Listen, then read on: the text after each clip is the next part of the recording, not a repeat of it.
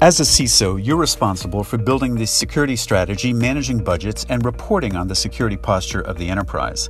But do you have the data and visibility into the performance of all your controls to report in a meaningful way to your executives? SafeBreach enables teams to test out the efficacy of their security controls and gain insights into their security posture to help drive down cyber risk. The SafeBreach platform provides several predefined dashboards that bring visibility into the effectiveness of your controls and the organization's security posture against specific threats.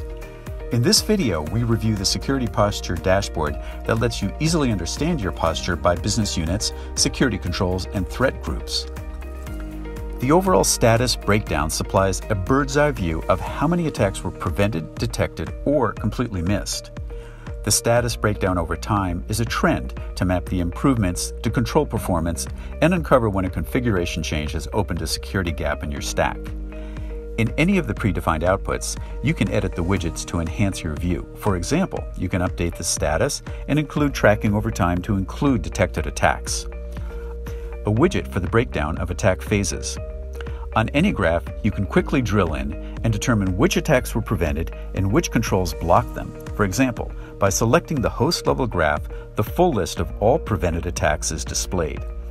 Select a specific attack result, such as extract security package using PowerShell, and you're presented with details of the attack, the parameters used, the MITRE ATT&CK classifications, all the simulation steps, and which of the controls prevented the attack. The next set of charts is the breakdown of controls by category with a clear display of which controls create the biggest exposure for the organization.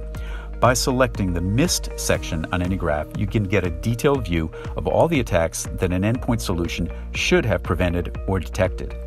Business units have different requirements, and it's imperative to monitor the security posture of each unit.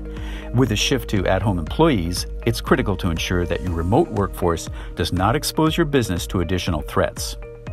You can have all the widgets on the dashboard updated with a single click by selecting the axis of any graph, in this case the VPN BU.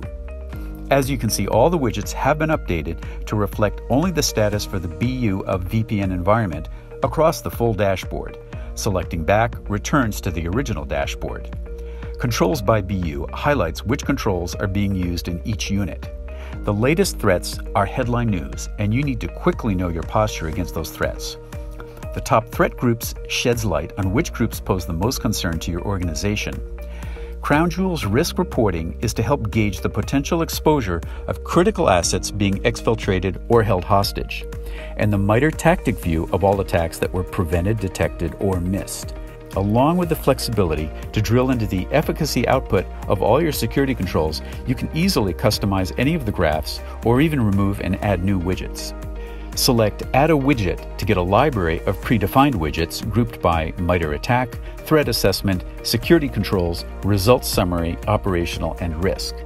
Now you can communicate with accurate and current data to stakeholders as these powerful dashboards are exportable and can be shared on a regular basis across the organization. With SafeBreach flexible dashboards, you can quickly and effectively highlight the alignment of security investments to business goals for the right business units. It's another way that SafeBreach enables you to manage security spend effectively and efficiently with outcome driven metrics. To learn more, visit us at safebreach.com.